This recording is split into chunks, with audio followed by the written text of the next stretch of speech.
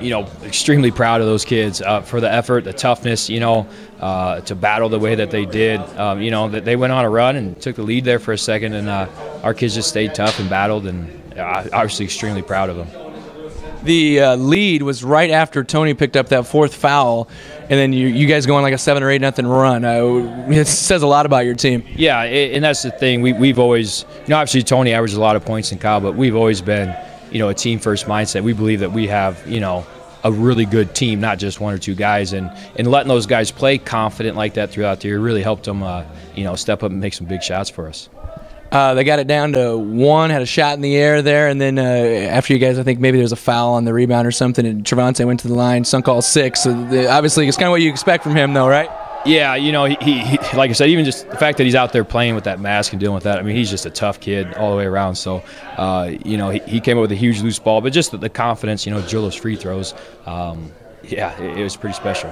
I could probably go through every single player here, and we'd have a lot to say about him, but. Uh, uh, Adam Barrett was somebody I thought really stepped stepped up. You know, double digit points doesn't do that a lot, and then uh, his defense too. Yeah, and we kind of talked to him this week about, hey, you know, we think that they're gonna help really hard off of you with Tony and some other guys. So you got to be aggressive, looking for your shot and making some plays, and uh, he did that. You know, and he's a kid who's you know, he's played varsity for three years and started, so he's been in that moment too. So he really gives a huge spark plug uh, offensively, but and then on the defensive side, Morel is such a good player, but Adam just made him work for everything, and you know, and that might have been the difference in that last shot that was a little bit short for him. So.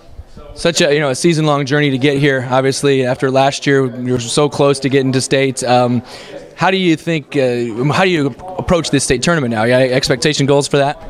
Uh, yeah, you know, we're definitely gonna just enjoy this one tonight and take a couple days to recover, but um, you know, we're, we're going to go down there to make a run at it and win the whole thing. I mean, there, there's no other way, you know, to pre- pre- prepare besides that. So, uh, you know, be excited to see who our matchup is and then uh, take a couple of days of rest and then, you know, get to work at it.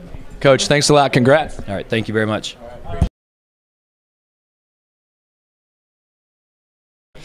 I got some uh, left open a couple times. I took some lanes, took advantage of it. What the defense was giving me.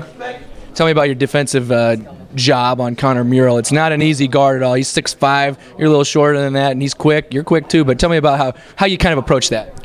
I mean, he's a great player. He can do inside, outside. Just got to stay physical and keep him, try to limit his touches. Aside from all that, your senior year, you're going to the state tournament. What's, what's, it, what's it feel like? It's crazy. You know, didn't get to do it last year, but now we get it this year. Experience it all. Adam, congratulations. Thank you. feeling? It was crazy, man. The environment was just great.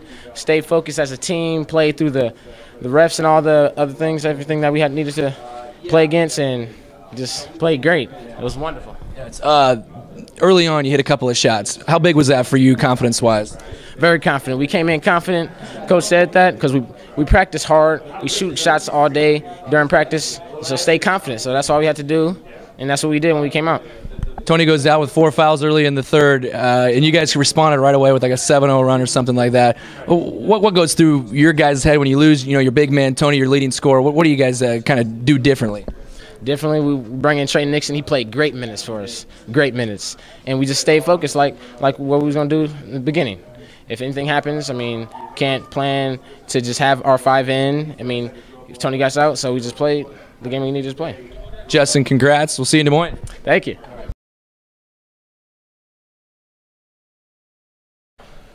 Uh, it's a hard. It, it, was a heartbreaker last year, you know. But uh, I'm glad that we got it, got our revenge. You know, I was kind of hoping that North won so we can go back. Oh yeah. Just for everything, man. But um, what where was I? I was, going through your head, you know, talking about how it feels. Oh yeah, it feels great. It feels great because this is the position that we should have been in last year. But you know, we realized I'm kind of glad that it happened last year because it made us realize that each possession counts. You know, and uh, we can't take anything for granted. We gotta we gotta take care of the ball. You know, it's it's a prized possession, and uh, basically we just we just um I don't even know right now. I'm so happy. My my brain is just gone. But uh, basically, you know, this is a position that we should have been in last year, and I'm glad not only for the team but for the fans coming out to every game, for the coaching staff, the countless hours that we put in. I'm just I'm just glad. Um, you go to the line there, six straight free throws, made them all. Tell me what's going through your head when you step there to the line. Nothing really, you know. that's why I made them because I didn't really think about it. You know, I shoot free throws every day. It's the same routine. So you know, I'm just gonna knock them down. It's like nothing else. Uh, Tony goes out with a fourth fourth foul there early in the third quarter, and see, suddenly you guys just kind of sparked to life there, just a little bit, you know, 7-0 run or something like that after they took a lead. How were you uh, able to just kind of get over it, which was a pretty bad call, and then him sitting down too? You know, uh, we trust each player on the team. That's why they're on varsity. You know, and uh, it's either sink or swim. And basically, when you're sinking, you don't panic.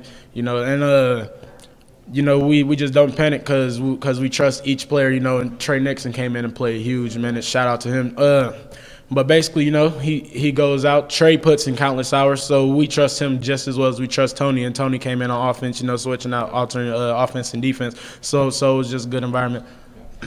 First trip to the state tournament, plane wise anyway. Uh, what do you what do you expect to see? What, what do you expect it's gonna it's gonna be like? Uh, really, I never worried like worry about the other teams. You know, we got to go and handle our business. You know, we can't have personnel. You know, like uh, be selfish or anything. We just got to play our game. Nothing's going to change, and if nothing changes, then we're going to continue to win. Hopefully. And that's the truth. Thanks, man. Thank you. Thank you.